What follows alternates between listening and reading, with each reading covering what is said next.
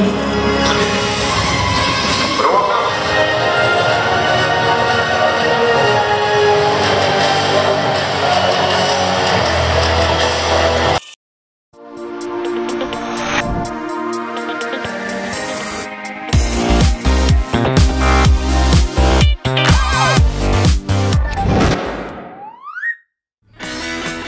วัสดีครับ คลิปนี้เราจะพาไปทัวร์ที่ The Marvel Experience Thailand กัน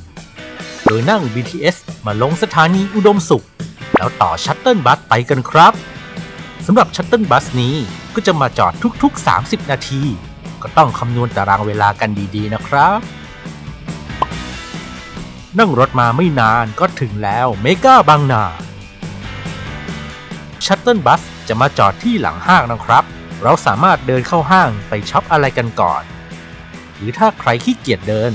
ก็นั่ง shuttle bus ยาวไปถึงหน้า Marvel Experience เลยก็ได้ แต่หากใครมาช็อปในเมกะบางนาแล้ว อยากจะไปต่อที่ The Marvel Experience Thailand ก็สามารถนั่งรถกอล์ฟอันนี้ไปต่อได้เลยครับ ไปมาเวลครับ ไป ลุยโลด ซึ่งอาคารของมาเวลก็จะอยู่ไม่ไกลจากที่นี่ครับ แต่ถ้าเดินก็จะเมื่อยหน่อย นั่งรถกอล์ฟไปดีกว่านั่นแหละ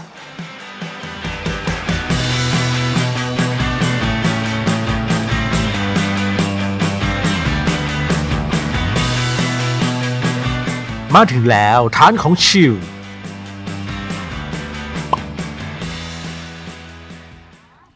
ด้านหน้าดูยิ่งใหญ่อลังการเลยทีเดียว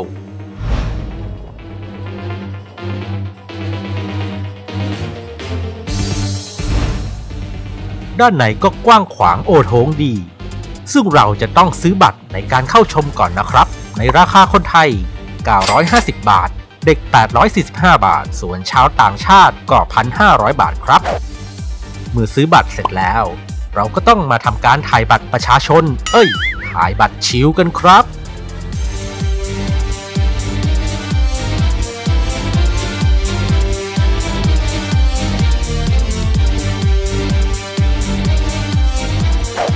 นี่ถ่ายบรรยากาศรวมๆกันให้ดู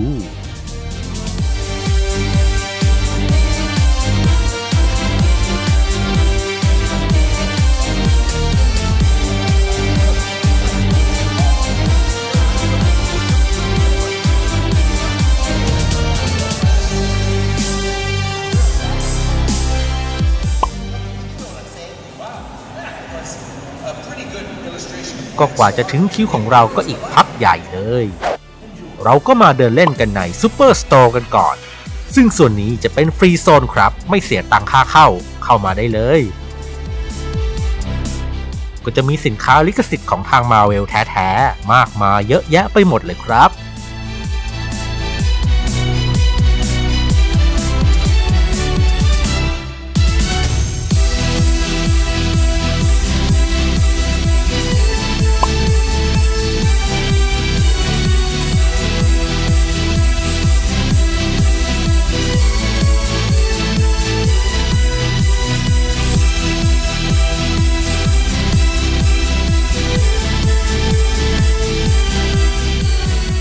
กางเกงมวยก็มี สวยดีนะเนี่ย เอาใจต่างชาติสุดๆ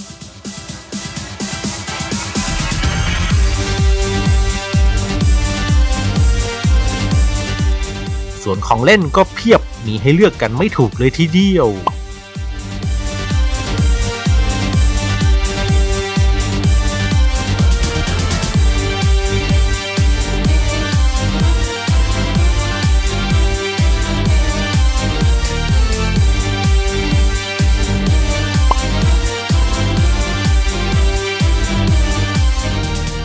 เท่าที่เดินดูรอบๆ ส่วนใหญ่จะเป็นชาวต่างชาติซะเยอะ เป็นนักท่องเที่ยวจีนฮ่องกงเนี่ยแหละ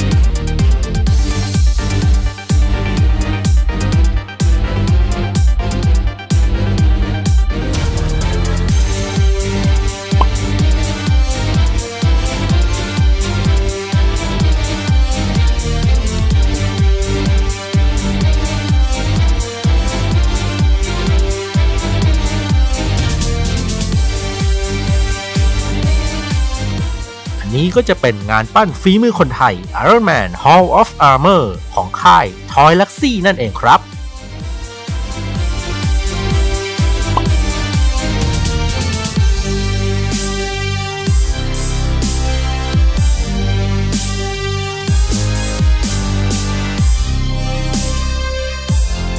เดินในสโตร์แทบทุกซอกทุกมุมแล้ว ก็ใกล้จะถึงเวลาของเราแล้วล่ะ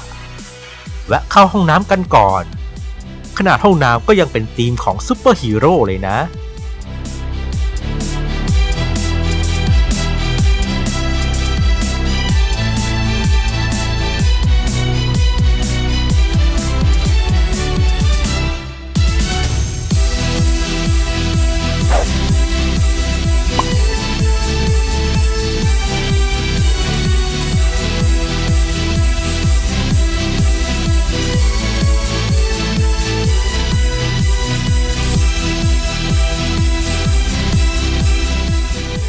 ขึ้นมาชั้นสองก็ยังมีด่านชวนเสียตังค์มาดักรออีก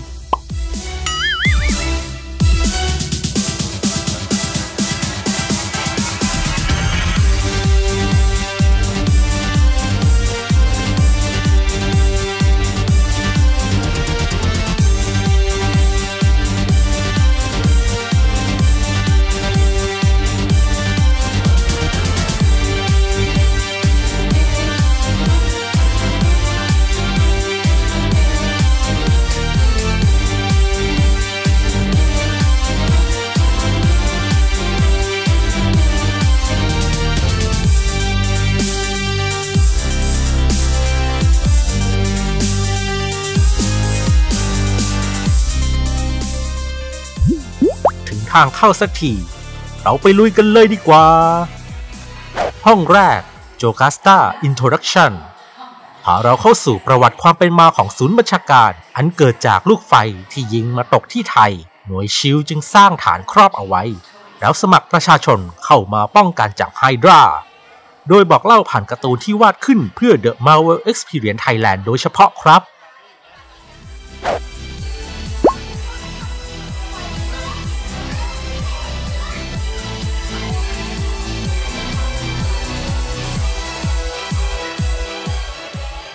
แล้วเราลงบันไดเลื่อนไปสู่ TMX Live News Report ตั้งแต่ส่วนนี้ไปห้ามถ่ายวิดีโอนะ แต่เก็บเป็นภาพนิ่งได้ ห้องนี้จะเป็นที่รายงานสถานการณ์สู่ศูนย์บัญชาการฮีโร่โดย The Marvel Experience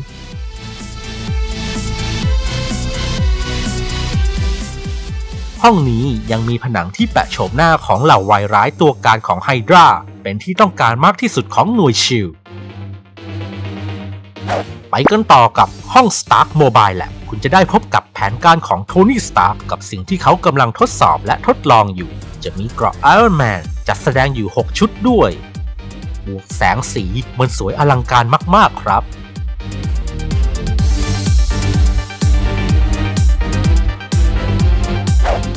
จากนั้นเข้าสู่ห้อง Mobile Command Center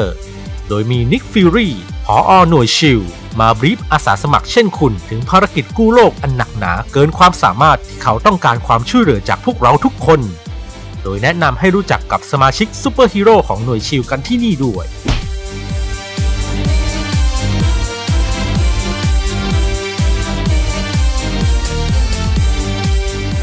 ไปต่อกันในห้อง Holo Blaster Shooting Gallery เป็นห้องที่ทุกคนจะได้เริ่มฝึกปฏิบัติภารกิจต่อสู้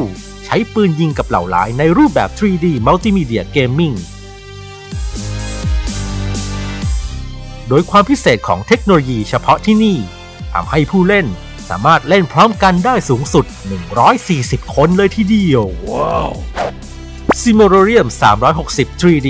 ร่วมลุ้นไปกับภารกิจสำคัญ ร่วมกับเหล่าซูเปอร์ฮีโร่เป็นการฉายภาพภายใต้โดม 360 องศาทำให้เรามองเห็นได้รอบ เจ๋งดี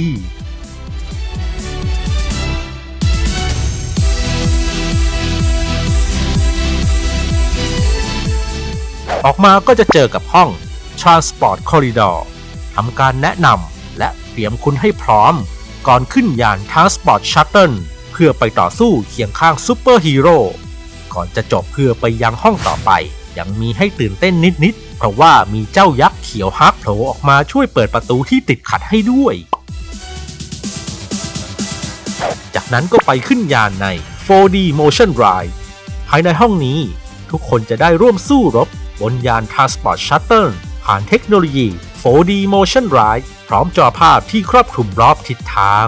ทำให้ได้สัมผัสการผจญภัยได้แบบเสมือนจริง ห้องนี้แหละเด็ดที่สุดแล้วชอบมากๆ เหมือนดูหนัง 4DX นั่นแหละ เสร็จแล้วก็ไปต่อที่ Training Center ร่วมฝึกฝนความสามารถพิเศษ เพื่อเป็นกำลังเสริมให้เหล่าซูเปอร์ฮีโร่ผ่าน Interactive Gaming 3 เกม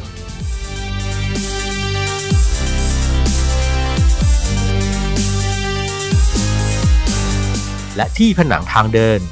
จะมีอุปกรณ์ prop ตัวละครต่างๆ มาโชว์ให้ดูอีกด้วย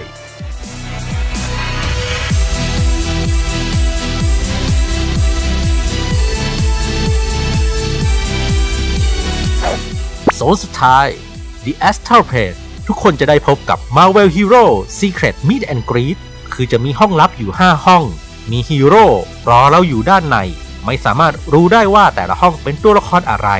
สุ่มคิวเข้าไปถ่ายด้วยสมาร์ทโฟนได้ 1-2 ช็อต และสามารถเข้าได้แค่ 1 ห้องเท่านั้น Exit Zone หมดจากโซนถ่ายรูปแล้ว ช่วงของทางออกนั้นก็คือโถงทางเดินยาวๆ มีป้ายไฟ banner ตัวละครแปะอยู่สองข้างทาง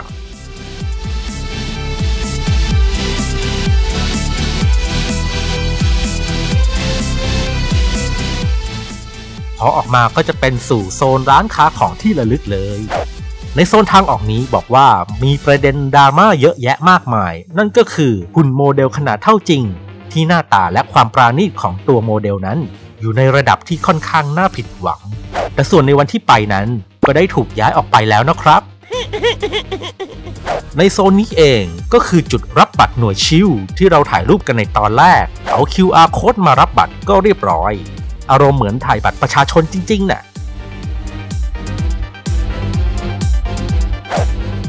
บริเวณชั้น 2 ก็ยังมีเครื่องเล่นให้น้องๆ หนูๆ มาสนุกกันได้อีกด้วยนะ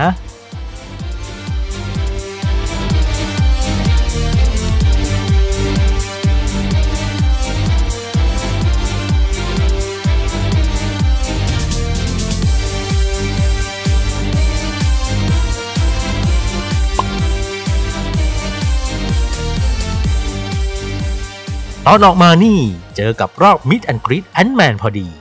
มายืนดูโชว์สักหน่อย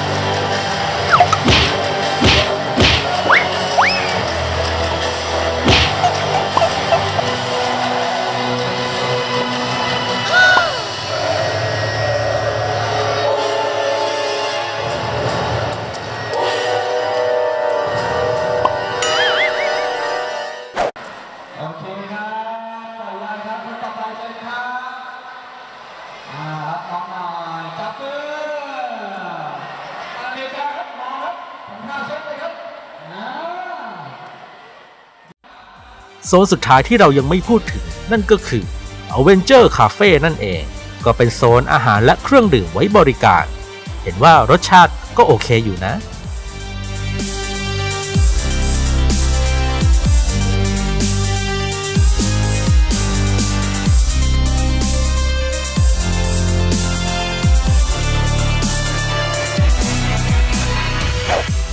นี่ไหน ๆ มาแล้ว ต้องมีของติดไม้ติดมือสัหน่อย นี่เลยครับ โดนสุดๆ เสื้อยืดโลโก้มาเวล สวยดี จัดปะ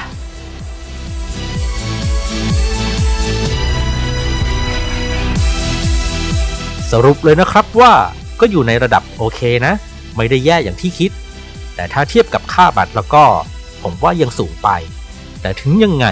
ก็ลองมาพิสูจน์ด้วยตัวเองกันดีกว่าเนาะจริงไหมเอาละครับ สำหรับคลิปนี้ขอลากันไปก่อน สวัสดีครับ